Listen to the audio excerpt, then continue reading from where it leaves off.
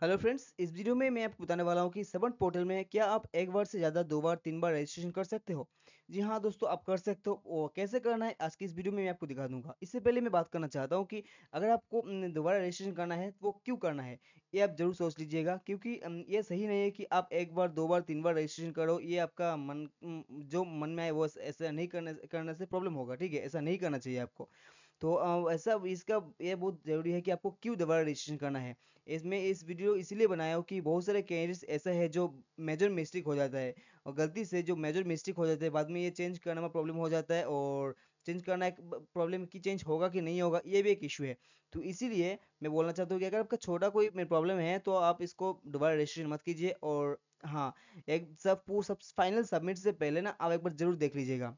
आप अगर मान लीजिए कि दोबारा रजिस्ट्रेशन कर भी लिया आपने, तभी फाइनल सबमिट से पहले आप एक बार अच्छे तरीके से देख लेना और हाँ मोबाइल नंबर और ईमेल आईडी जो आप दोगे ना, वो आपका खुद का मोबाइल नंबर और खुद का ईमेल आईडी ही देना है। आप किसी के दूसरे का मोबाइल नंबर दूसरे किसी का ईमेल आईडी मत दीजिए क्योंकि बाद में आपको, कभी भी आपको बहुत पछताना पड़ सकता है कि दूसरे का दोगे ना, बाद में आपको ये चेंज नहीं होगा। अगर वो बंद हो जाएगा तो आप प्रॉब्लम प्रॉब्लम में पड़ जाओगे, ठीक है? तो ऐसा आपको नहीं करना है। तो इसीलिए आपको सही सही देना है, जो भी डिटेल्स आपको देना है, बाद में आपको चेक भी कर लेना है। तो आज की इस वीडियो में आपको दिखाऊँगा कि कैसे आप दोबारा रजिस्ट्रेशन कर सकते हो। तो इसीलिए आपको, इसके लिए आपको जस्ट न्यू रजिस्ट्रेशन का ऑप्शन में आपको क्लिक करना है। क्लिक करने के बाद देखिए यहाँ पे फिर से रजिस्ट्रेशन फॉर्म ओपन हो जाएगा। तो आपको सेम आपका जो नाम है, वो नाम देना है डेट ऑफ़ बर्थ देना है ईमेल आईडी क्या करना है? ईमेल आईडी आपको चेंज करके देना है। आपको जो मोबाइल नंबर और ईमेल आईडी है, वो दोनों टोटली चेंज कर देना है। पहले आपको मोबाइल नंबर, ईमेल आईडी नहीं होना चाहिए। अगर वही दोगे आप तो आपको ये ऑलरेडी रजिस्टर्ड दिखाएगा। आपको just email ID and mobile number को चेंज करना है और बाकी सब कुछ आपको सेम देना है।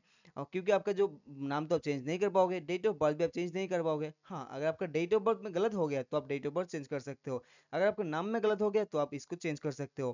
तो ये बहुत ही बड़ा इशू है। आप अगर ऐसा कुछ प्रॉब्लम हुआ है ना तो आप इसको चेंज कर सकते हो। और क्योंकि ये रजिस्ट्रेशन रजिस्ट्रेशन करने के बाद जो फॉर्म ओपन हो जाएगा तो आप रजिस्ट्रेशन आईडी बन जाता है। तो उस टाइम आपका जो सिर्फ़ ये इस नॉर्मल बेसिक डिटेल्स को छोड़ के बाकी सब कुछ आप एडिट कर सकते हो, बस इसको एडिट नहीं कर सकते हो। इसके लिए अगर आपको ऐसे, इस पोर्टल में अगर आपको मिस्टेक हुआ है ना, इस इस इंटरफेस में तो आप दोबारा रजिस्ट्रेशन कर सकते हो। अगर आपको कुछ कोई पूछता भी है कॉलेज से कि आपको दोबारा रजिस्ट्रेशन क्यों किया तो आप बोल सकते हो कि मेरा ये प्रॉब्लम हुआ था, इसलिए मैंने ये दोबारा रजिस्ट्रेशन किया।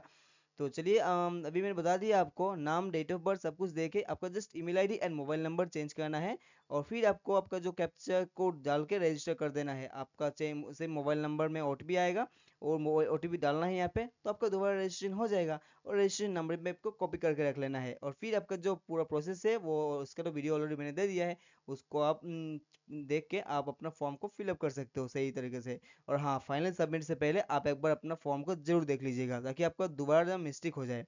तो फ्रेंड्स अगर वीडियो अच्छे लगे तो वीडियो को लाइक ज़रूर करना एंड अगर आपको कुछ कंफ्यूजन है तो आप मुझे कमेंट्स करके पूछ सकते हो। और अगर आप इस चैनल में नए हो तो चैनल को सब्सक्राइब कीजिए वीडियो को लाइक कीजिए। Thank you